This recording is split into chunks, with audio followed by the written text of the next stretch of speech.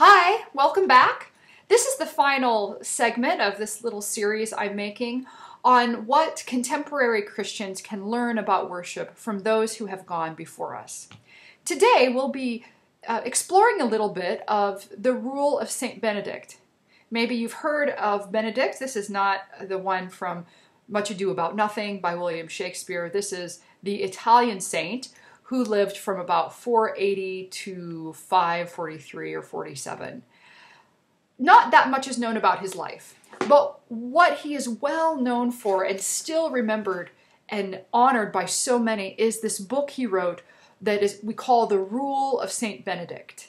This is a book of precepts written for groups of monks who are living together in community under the authority of an abbot. Now, Perhaps you wonder um, why would a book for monks be appropriate for you, uh, a contemporary Christian, maybe living with your family or with some friends. This has very little relationship to you, perhaps on the surface, and I totally get that. Um, and also, we can be a little afraid because it's called a rule, and as a rule, we say, well, we don't have rules. We have freedom in Christ. Why would I want to follow a rule? You're not supposed to add anything to the book. So that's that's a little troubling to some. Although it is called a rule, we could maybe better call it a ruler. It is a, a measurement, it's a tool. It's used to help us grow in spiritual maturity into people who live as the body of Christ together. Uh, this book could be classified rather than a, a list of rules or regulations, uh, instead as wisdom literature. The, the rule has lasted for so long part, partly because there's a certain element of flexibility to it. Primarily, it seeks to teach wisdom and moderation and humility and to help people seek the Lord. This is from the, the preface, for instance. What, dear brothers, is more delightful than this voice of the Lord calling to us. See how the Lord, in his love, shows us the way of life? Clothed then with faith and the performance of good works, let us set out on this way, with the gospel for our guide, that we may deserve to see him who has called us to his kingdom. So there's a certain aspirational hope in how God might use the rule in our lives. Uh, the rule is formative. Benedict writes, Therefore, we intend to establish a school for the Lord's service. In drawing up its regulations, we hope to set down nothing harsh, nothing burdensome. And if you read the rule, you'll find out that for the most part it is true. There's so much flexibility within it.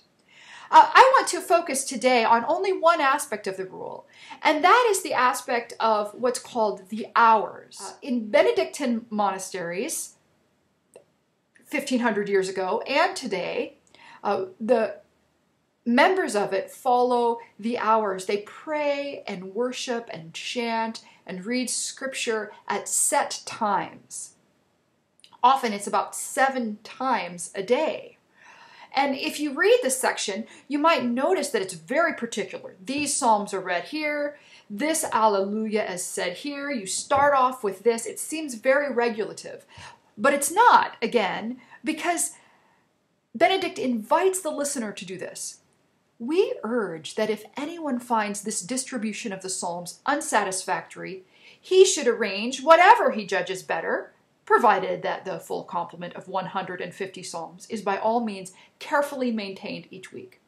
So it doesn't really matter to him how much that you sing or chant which song on which day. What matters is that every single week the community together is reciting and singing all 150 Psalms.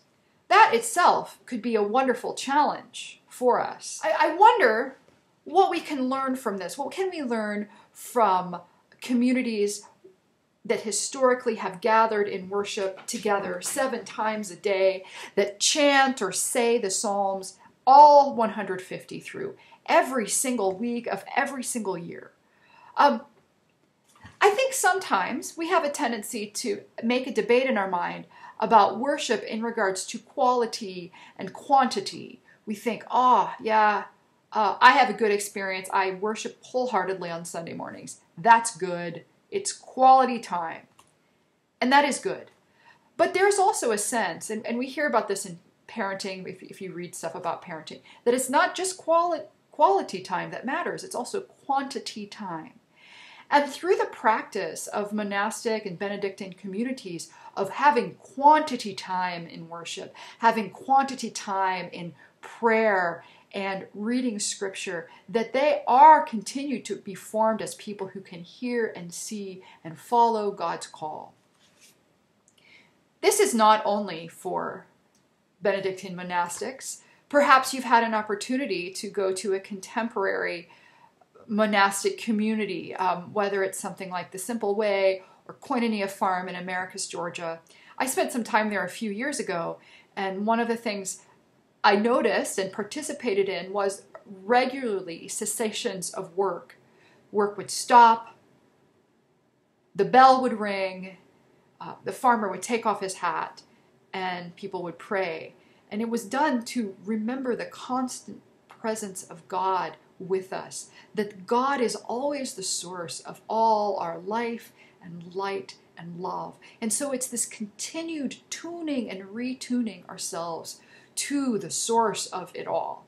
And this, my friend, can be a, a wonderful way that God forms us. These rules aren't rules that are a straitjacket. These rules are rules just like you make sure that your plant gets enough sunlight or it will die right? It's not that's not a rule to stifle that's a rule to help live.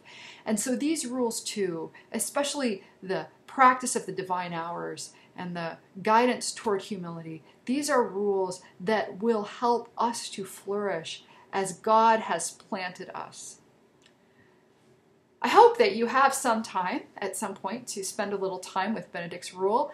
I've put a, a, link below if you want to read it online right now.